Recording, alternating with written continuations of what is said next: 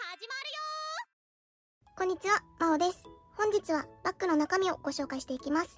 4ヶ月ほど前にリュックの中身をご紹介したんですけど、多数リクエストをいただいているため、今回は夏のバッグの中身という感じでご紹介できたらなと思います。中身の方はさほど変わっていないんですけど、良ければ最後までご覧いただけますと幸いです。それでは早速始めていきます。まず、私が使っているカバンは、こちらになります。シーンで購入したショルダーバッグになります。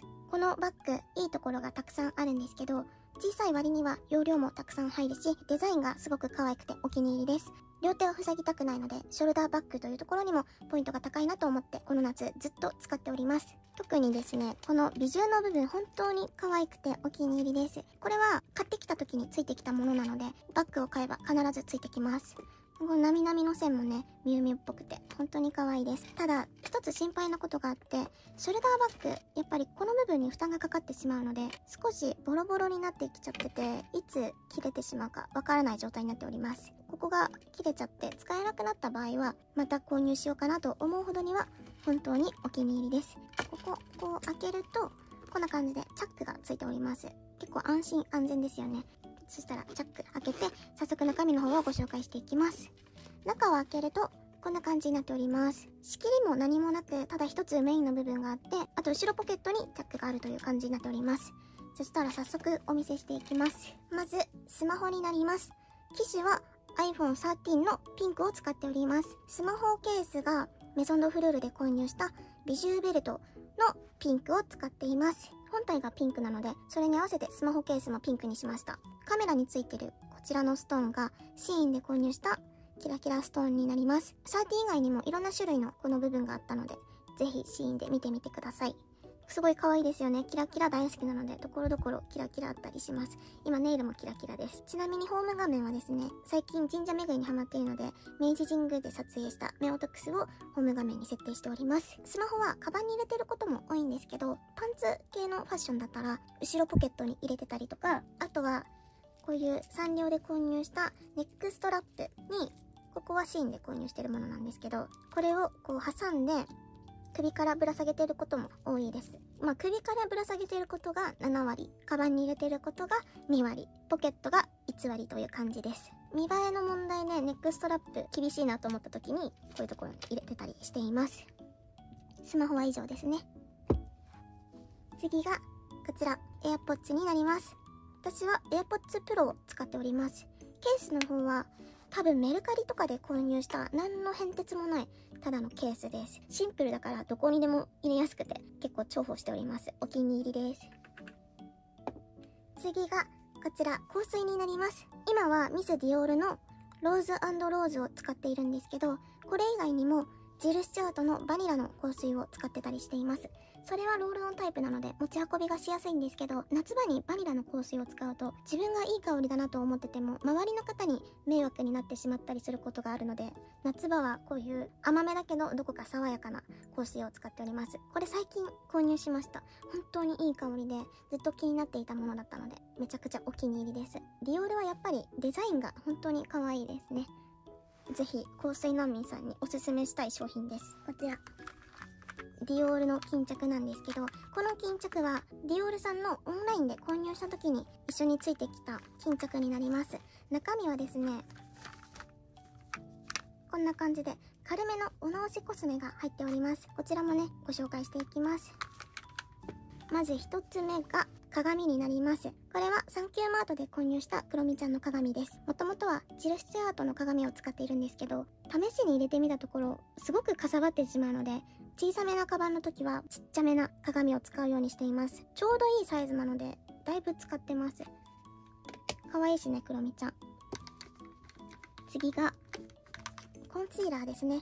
こちらがイヴ・サンローランのラディアントタッチのナンバー2です。涙袋に使ってたりとか、少しよれてしまった小鼻部分とかだったり使ってたりしています。ファンデーションを塗ることがなくなったんですけど、コンシーラーは未だに使っているので、一応持ち歩いてます。まあ、棒状のものなので、全然かさばらないです。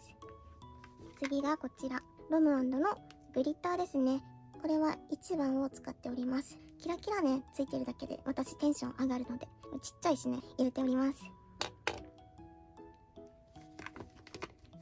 次がチークです。これはキャンメイクパウダーチークスの PW20 番。恋コスメと言われていた品番なんですけどリップとかチークとか取れてしまうと血色感がなくて死人になってしまうのでチークは必ず入れています。次リップですね。リップはこの2つを使っております。まずロムのジューシーラスティングティント。17番のプラムコーク。ブドウ色っぽい私のドンピシャな色味なのでこちらずっと使っております。あとグロスも同じくロムのものです。00番のメテオトリック。こんな感じで青みのラメが入っているし塗るとスースーする成分が入っているのですごくお気に入りです。しかも1000円ぐらいで購入できるからディオールのあれを買うよりは私はこっちを買ってしまう。キラキラが入ってるっていうところもポイントが高いですね。